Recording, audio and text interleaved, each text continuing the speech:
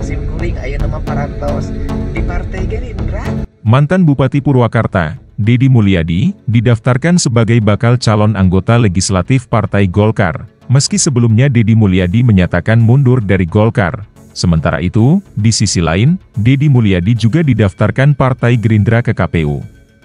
Pendaftaran Dedi Mulyadi sebagai bacalek ini diperkirakan memiliki risiko nama ganda dari dua partai berbeda, Wakil Ketua Umum Partai Golkar, Ahmad Doli Kurnia, menyatakan, partainya masih mendaftarkan Dedi Mulyadi sebagai bakal calon anggota. Legislatif di Pileg 2024, Doli menyatakan Partai Golkar belum menerima surat pengunduran diri Dedi Mulyadi, kita nanti akan mengundang Pak Dedi untuk meminta klarifikasi dan sampai saat ini namanya masih kami daftarkan sebagai caleg. Kata Doli di kantor KPU RI di Menteng, Jakarta Pusat, Minggu, 14 Mei 2023, Doli menegaskan partai belum menerima surat pengunduran diri yang bersangkutan, kami belum menerimanya langsung.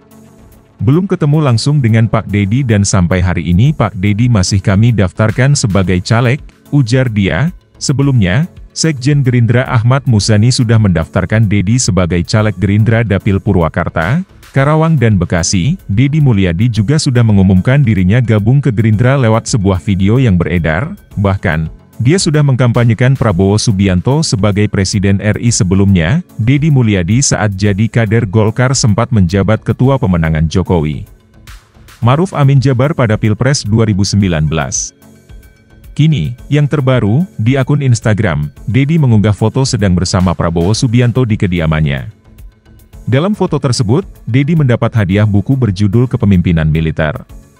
Menorehkan catatan sejarah masa lalu untuk meraih kejayaan di masa depan dengan ideologi, visi dan keyakinan bersama Prabowo Subianto, kita terus bekerja untuk Indonesia Raya, kata Dedi Mulyadi.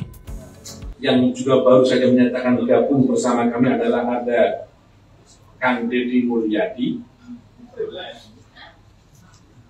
Sebelumnya kami telah mendapatkan beberapa nama-nama peken seperti Rachel Maryam Sayyidina, Jamal Wirdad, Moreno Suprapto, nama-nama tersebut sekarang masih tetap ingin berjuang bersama kami dalam perjuangan politik 2024. Mugia Kapayun.